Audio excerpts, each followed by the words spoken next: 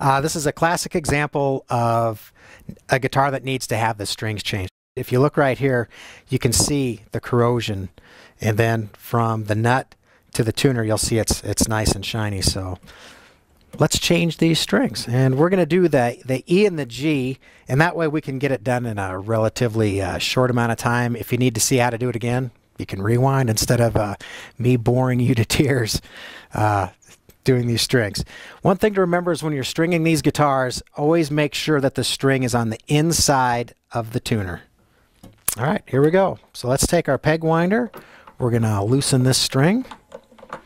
Then we're going to take a pair of wire cutters or dikes, and this is how you pull the peg.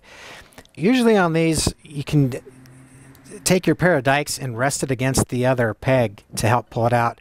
For the slow E, I'm going to use my finger. And again, just grip underneath the peg nicely, and then just lift it out gently like so. And you'll notice that on this peg, there's a groove.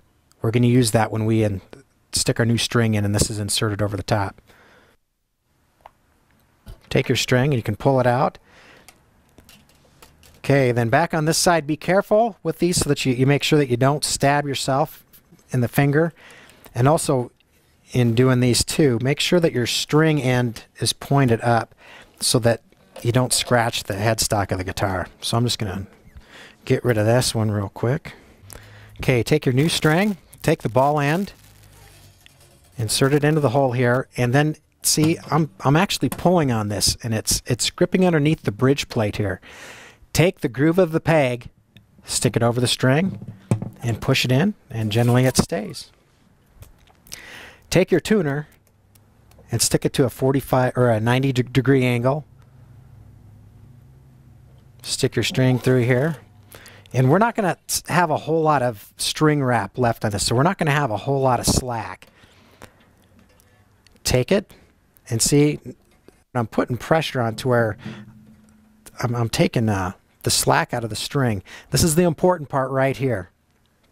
Take your string and bend it underneath, like so, and then over the top, like this.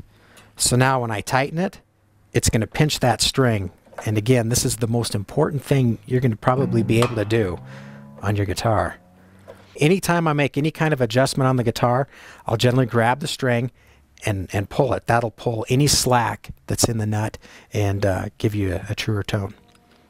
All right. Take your, your wire cutters. I like to stick it to the top of the peg and cut it off. All right, let's do our G string.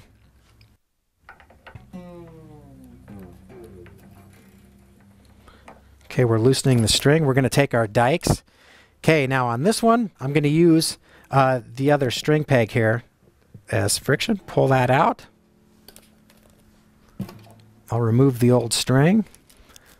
Okay, again, take your ball end, stick it in. It's going to catch on that bridge plate. Find the groove of the peg, slip it over. Every once in a while, these has, have a tendency to want to kind of shoot out, so be careful not to have your, your face sticking directly over where it uh, might lose an eye.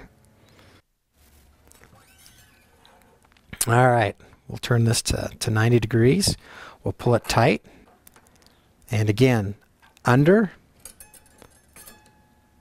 and over so that it pinches, and you'll see it when it comes around here.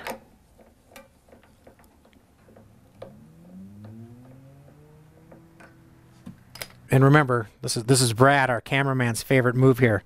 Grab the string and yank it anytime you make any kind of adjustment at the tuner.